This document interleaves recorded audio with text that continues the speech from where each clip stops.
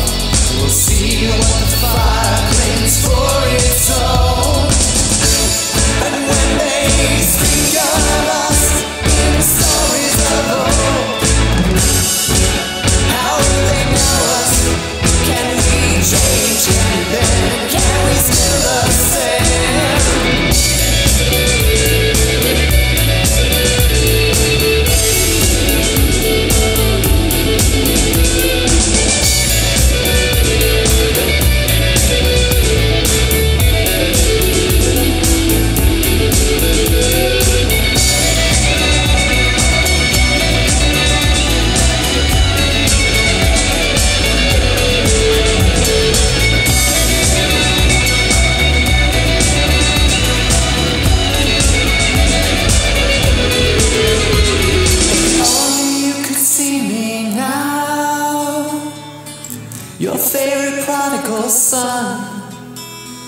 If only you could see me.